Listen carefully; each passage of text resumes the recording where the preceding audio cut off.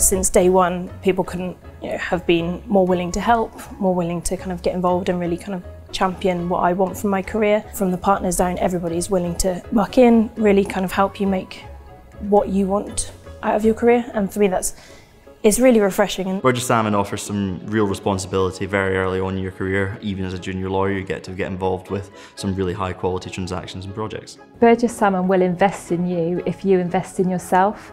So, you know, if you want a job and you want to be the best you can, look out for the development opportunities that Burges Salmon offer. My working pattern is I work four days a week and I was really pleased that when I had the conversation about coming to join the team at Burges Salmon that they basically didn't bat an eyelid. It's just part of the way of life at Burges Salmon to work flexibly. What's really exciting about working at Burges Salmon is that everyone has the opportunity to expand their horizons and get involved in work that really excites and interests them.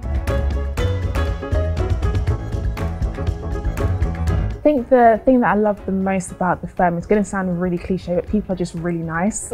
people are just really nice, really friendly, and you know, I've never felt like I couldn't ask anyone for help and support, which is quite important, especially as a trainee. The culture is really welcoming and friendly um, and down to earth. Everybody is a bit more relaxed and collaborative, and there's much more of an open door sort of policy with people popping in and out and talking to each other.